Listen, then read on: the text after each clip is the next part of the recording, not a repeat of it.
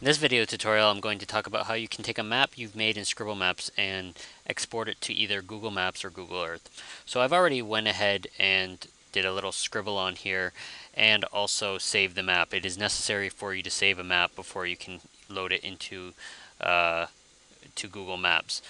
If you want to get a map you made into Scribble Maps into Google Earth, uh, the separate application, then you can also just download uh, what's called a KML file and then load that KML file right into Google Earth. But in this tutorial specifically, I'm going to show how you can load the map into Google Maps and Google Earth using a web interface.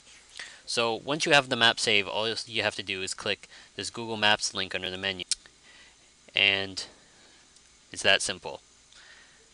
And then you could save this to your account or uh, even go into Google My Maps and add additional things to it. So that's all that you have to do to get it into Google Maps. Now for Google Earth, um, all you have to do is click this Google Earth uh, icon, but keep in mind that um, you have to have the Google Earth web plugin. So I already have it installed, so it takes a little bit to load. But as you can see, there's my scribbling on the 3D Earth. It's that easy. Um, also keep in mind that certain features uh, do not work in Google Maps or Google Earth.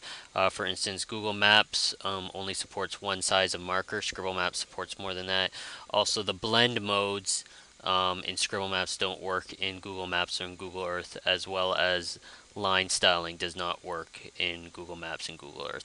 But all the primitive things like lines, squares, circles, polygons, um, and even markers uh, should show up correctly in both Google Maps and Google Earth.